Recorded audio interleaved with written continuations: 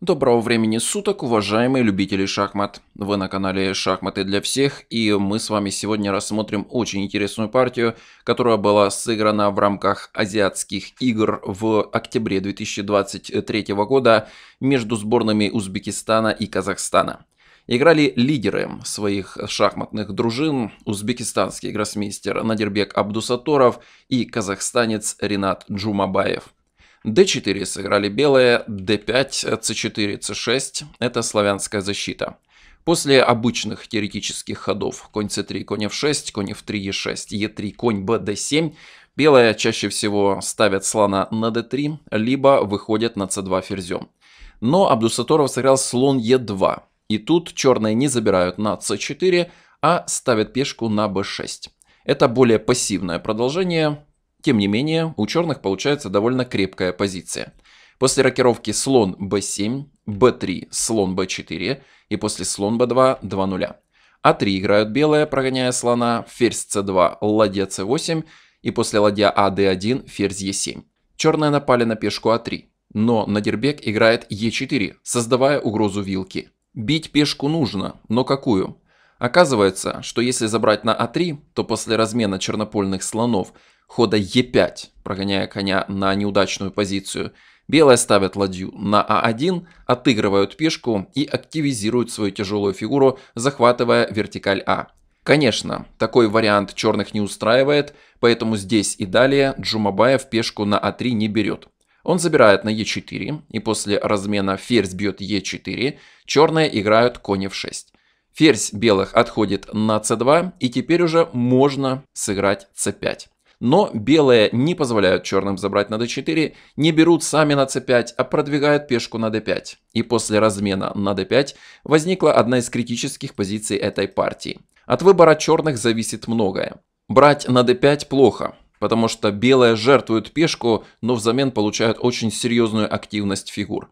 После конь f6, ладья e1, ферзь d8, конь g5 угрожает размен на f6 и мат на h7, а после g6 критическим образом ослабляется конь, белые играют ферзь c3 и удержать эту позицию черным не по силам. Поэтому лучше было поставить ладью на e8, нападая на слона, но Ренат Джумабаев сделал ход c4, вновь напал на пешку а3 и предлагает белым полакомиться своей пешкой c.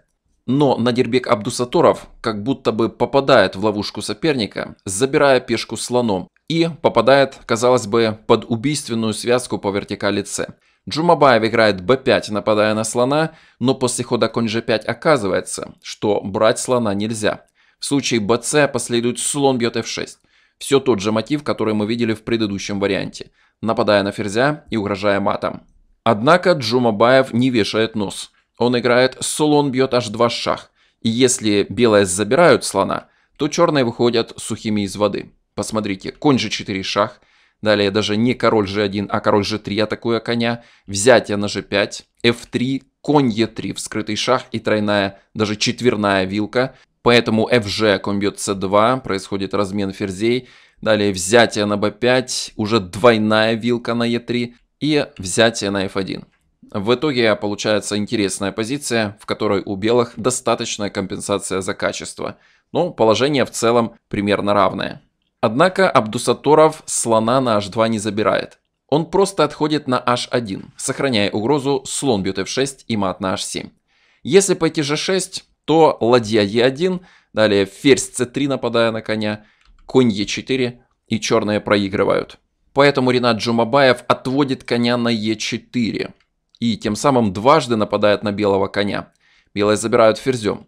Если побить на e4 ферзем то после взятия на c4 белые забирают король h2, получая лишнего коня в эндшпиле. Поэтому Джумабаев забирает на g5 ферзем после взятия bc, bc. В итоге получилась миттельшпильная позиция с двумя лишними пешками у белых и разноцветными слонами. Ренат Джумабаев пытается не пропустить эти пешки в ферзи, играет слона 6, связывая пешку c4 и дважды нападая на нее – но на дербек играет ладья d4. После ладья e8 ферзь g4.